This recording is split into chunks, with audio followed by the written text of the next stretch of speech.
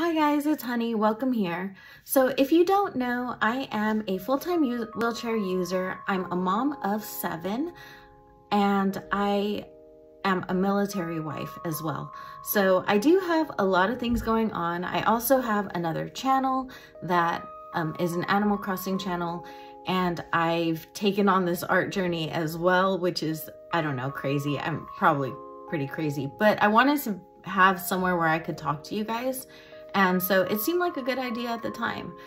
One thing I've been asked quite a bit is from a lot of able-bodied people is how can they help? And the way you guys can help is not necessarily the way you think you could help. So I get a lot of help and it's kind of patronizing sometimes. I get patronized into a corner even like I've had people grab my wheelchair and try and push me places when I'm out in public. I've had people um, try and carry my bags, try and put things on shelves for me, try and do things that are within my reach and within my grasp. It's not like I'm trying to reach something on a top shelf and they're getting it down for me, which is a kindness, you know. And, but I do have a voice and I know how to ask um, if I can't reach something. I know how to ask somebody to help me. Um, the important thing is to not assume that somebody needs your help. I know this is hard because we are trained from a very young age that we should feel bad for people that are less fortunate than us. The problem is, is that we have learned that anyone less fortunate than us is defined by anyone who can't do everything that we can do. And that's not necessarily the case. See, people come in all different shapes and sizes and abilities. And sometimes I'm find that I'm a little more capable than someone who's completely able-bodied at certain things.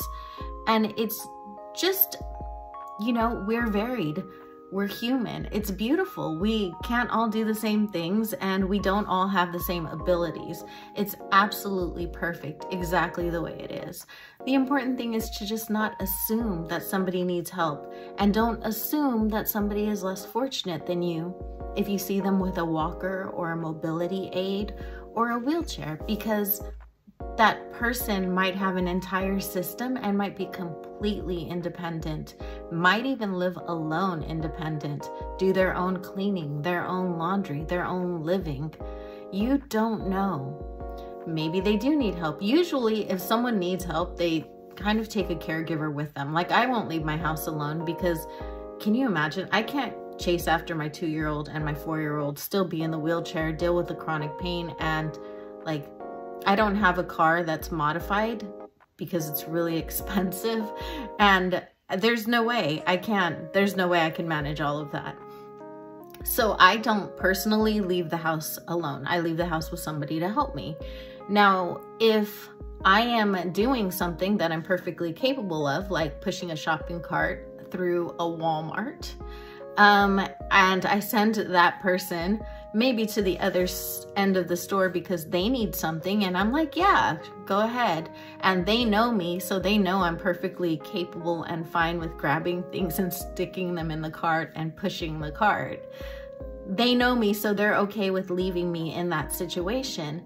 And a lot of times a random stranger will come up to me and actually start pushing my cart or pushing me or um, asking where I need to go, asking what I'm looking for. It's a little bit patronizing. It is. I'm, and I, it's not to be mean, but you just can't assume that people need help when they really don't actually look like they need help. If they're not completely distressed or crying or like upset, or they're not actually asking for help, then maybe just say hi, make polite conversation if you want. But otherwise, just treat them like they're anybody else. They might not actually feel less fortunate than you do, you know, than you are anyway. Um, that might actually not be a thing. They might feel perfectly okay with what they are. I've said this before and I'll say it again because I truly stand by it. Being in a wheelchair is not the worst thing that's ever happened to me. It really isn't. There are far worse things that have happened to me, and there are far worse things that I can imagine happening, and the wheelchair is just not the worst thing. I don't know, like, how can you help? You can help by maybe petitioning your local stores that you see aren't accessible, that might have a step up and no ramp.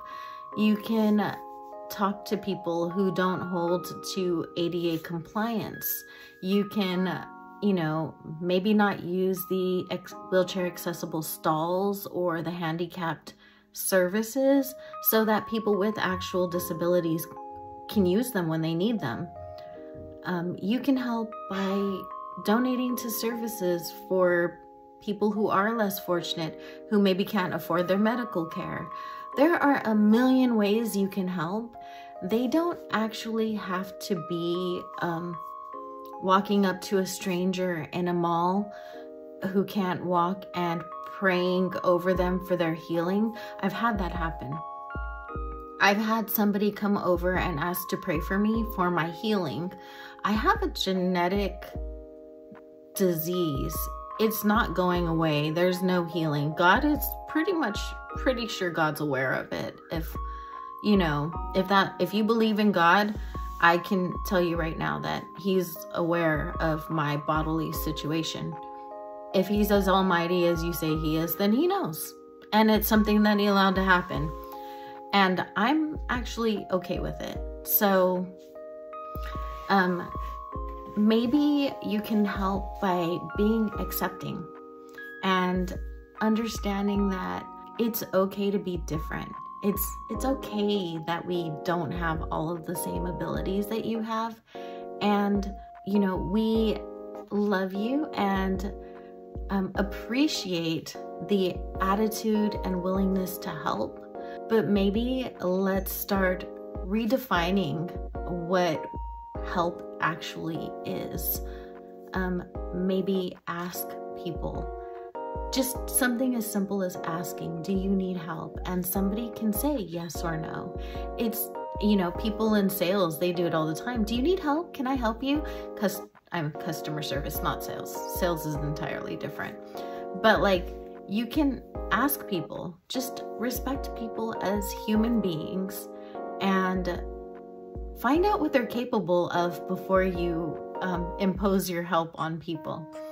And if you have a disability, um, try to be understanding because people are human and look at look at the intention rather than the action and maybe take a part in trying to help correct this. I know there's so much anger and people are so re resentful because ableism is awful. But being angry and projecting anger onto everybody all the time because of because they make mistakes because they're human, it actually alienates an entire group of people that can help us because we don't have a lot of disabled advocates because let's face it, being disabled hurts and it's exhausting. And we don't have a lot of people speaking up for us because pain's exhausting. So let's remember that everybody who wants to help is a potential ally and maybe help them just gain the tools to know how to help us effectively. The same way that anyone who needs help in their lives can help others around them understand the kind of help that they need. It's a basic human concept. It's not rocket science. It's not complicated and it's not hard.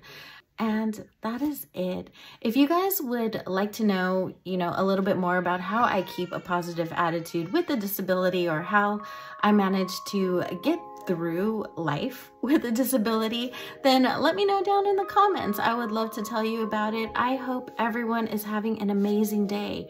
You guys could be doing absolutely anything and you chose to spend a few minutes here with me. I'm sorry if this topic was a little triggering for anybody. I hope that everybody understands my intention and I hope that you guys all have an amazing day and have had an amazing new year so far. And until next time, bye!